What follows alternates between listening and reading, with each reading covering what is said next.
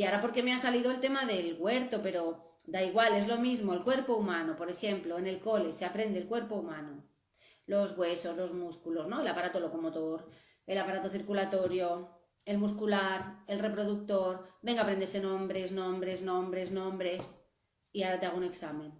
¿Y qué hago yo con eso?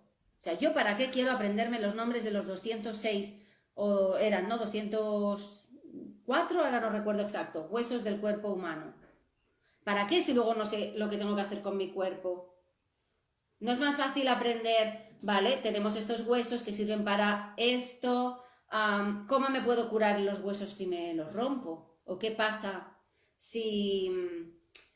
Ah, a ver cómo lo digo, ¿no? Mm, o para estar mejor, más sano, necesito hacer deporte y exactamente trabajar estos músculos. Bueno, creo que me entendéis lo que quiero decir, ¿no? Relacionarlo todo con todo. No es, no aprendo el cuerpo humano y ya, sino, vale, tengo un estómago.